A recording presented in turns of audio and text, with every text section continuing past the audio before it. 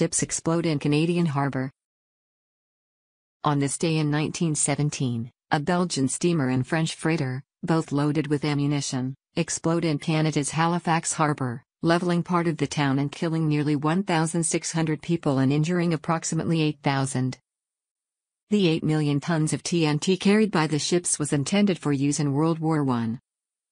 The ships were gathered in Halifax, the meeting point for convoys to begin the dangerous Atlantic crossing, during which they were threatened by the deadly and stealthy German U-boat submarines. The HMS Highflyer was assigned to lead the convoy.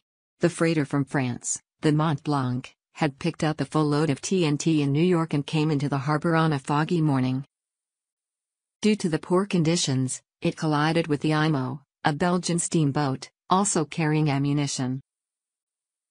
A fire resulted and both ships were abandoned immediately. A British ship, the Pictou, was at a pier in the harbor and was also filled with ammunition.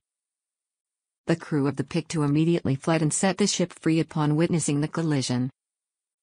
The Highflyer was the only ship that took any action to try to stop the disaster. It sent 23 men toward the collision to attempt to sink the vessels.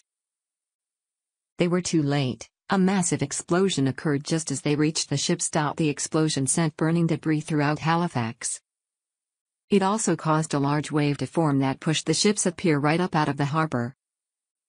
A Canadian Army officer stationed at Halifax described the result. All that could be seen for a great circumference were burning buildings, great mounds of iron and brick in the streets and dead bodies.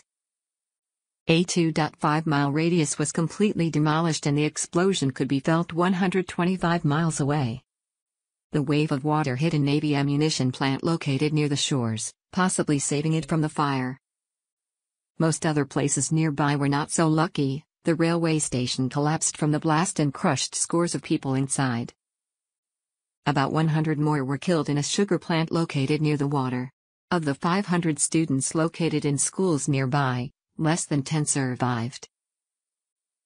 In all, the death toll was somewhere between 1,200 and 4,000, but no one knows for sure because so much of the city was completely obliterated. Many more might have died except for a snowstorm later that day that helped put out the flames.